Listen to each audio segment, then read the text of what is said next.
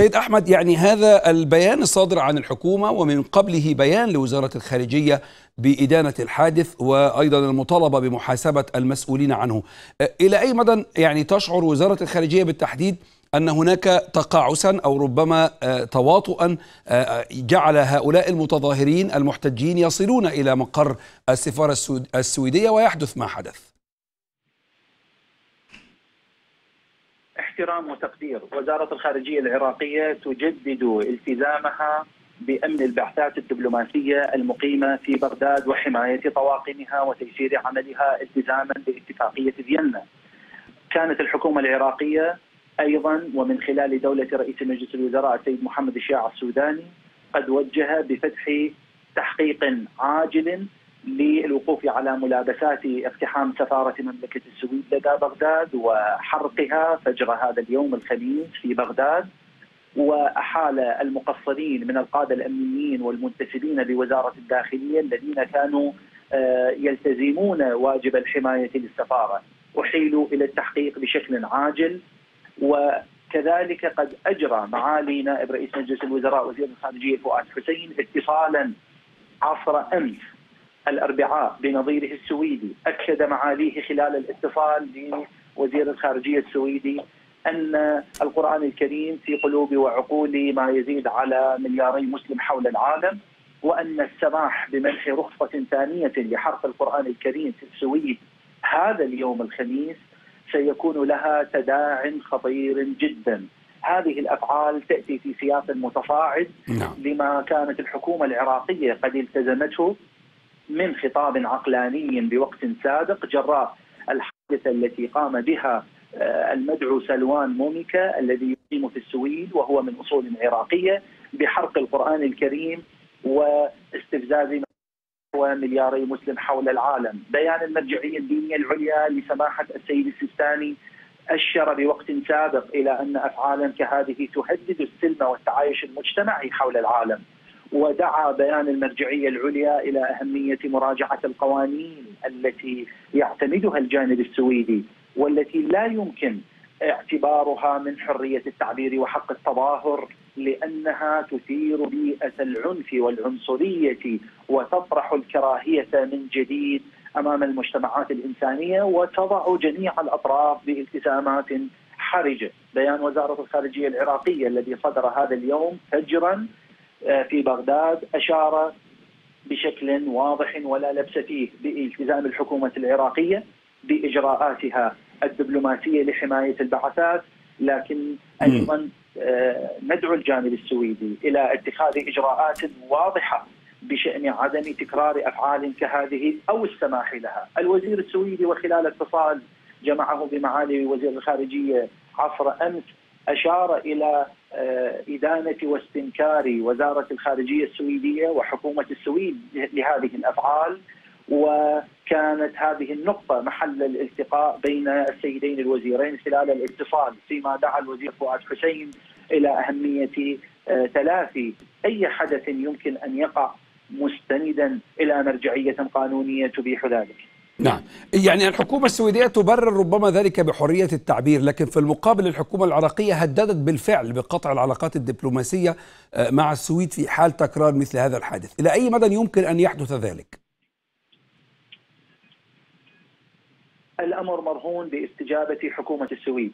نحن نتحدث عن موضوع جوهري وحساس للغاية، إنه يمس ويزدري مشاعر أكثر من ملياري مسلم حول العالم. العراق تحول إلى بوصلة للخطاب العقلاني للدفاع عن المقدسات في هذا الأمر، ولذا يلزم التضامن ووحدة الموقف والتكريس لخطاب متوازن وممارسات تدعو لوضع حد لخطاب من هذا النوع أو ممارسات من التي نطالعها ونسمعها وتعد ممارسات شنيعة لا يمكن قبولها تحت أي تبرير. معالي الأمين العام للأمم المتحدة سبق له باتصال هاتفي مع السيد وزير الخارجية فؤاد حسين أن قال بأنه تلقى رسالة المرجع الأعلى السيد السيستاني وأنه يعد جوابا بشأنها، هذه الرسالة هي التي كانت تؤشر إلى طبيعة المخاطر والتحديات التي تنطوي عليها أفعال شنيعة كهذه الاستهجان والادانه والإستنكار من مختلف الدول العربية الإسلامية الأوروبية كلها وضعت هذه الأفعال محلا للتنديد والرفض والاستنكار وبأشد العبارات، اذا ما هو التحدي؟ التحدي هو وجود تشريعات داخل السويد تعد مرجعيات قانونية تبريرية لهذه الأفعال، اذا من المنطقي والواقعي أن نلتفت إلى هذا الصوت الإنساني العالمي من مختلف دبلوماسيات العالم.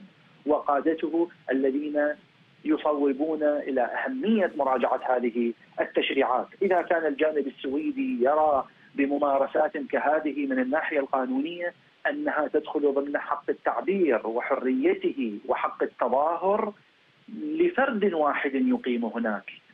فلماذا لا ننظر إلى ملياري مسلم حول العالم؟ الواقعية وطريقة العلاقات بين البلدان تقضي بمراجعة أهم السلوكات والأفعال والمواقف والخطابات التي تشنج البيئة آه، الدولية، أنا أتحدث الآن عن دور عراقي متوازن وحكيم يدعو إلى الوقوف أمام هذه الأفعال ويضع حدا لها ويلتزم مسارا واضحا قانونيا ودبلوماسيا لمنعها.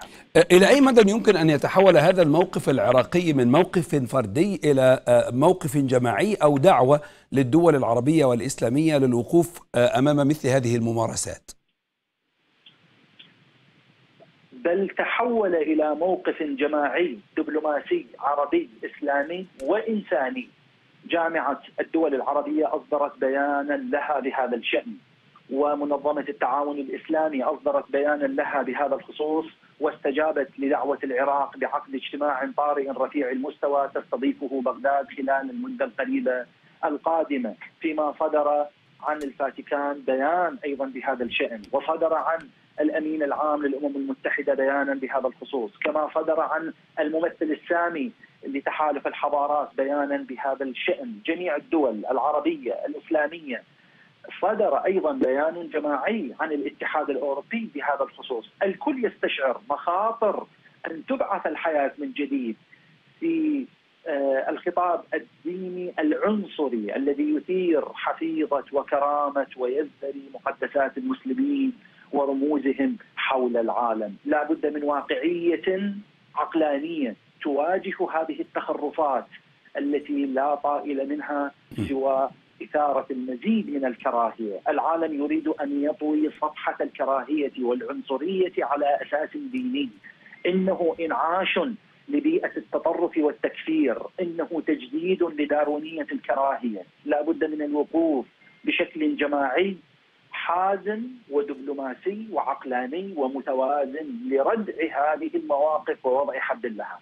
في اجتماع بغداد المقبل إلى اي مدى يمكن أن ترفع دعوة للقطع العلاقات مع الحكومة السويدية إذا لم تردع مثل هذه الممارسات؟ لا يزال هذا الأمر في إطار التقييم العاجل وهو مبني على استجابة الجانب السويدي لطبيعة ما تدعو إليه واقعية هذه الحادثة وتتطلبه من جميع الأطراف، الحكومة العراقية تلتزم علاقات دبلوماسية محترمة ومتوازنة مع كل الأطراف.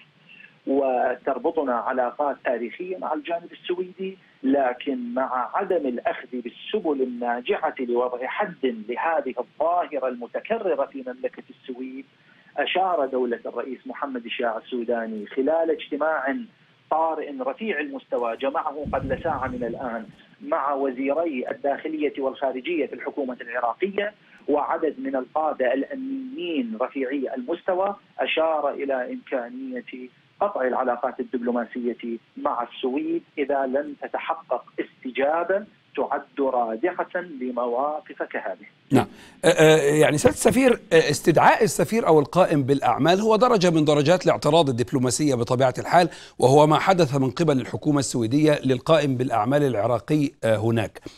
ردكم على مثل هذا التصرف؟ هذه قواعد إجرائية دبلوماسية تتوخاها وزارات الخارجية عادة وهو سياق بروتوكولي نعده طبيعي قبال أيضا مطالبات ومواقف عراقية بروتوكولية تأتي في هذا السياق أيضا.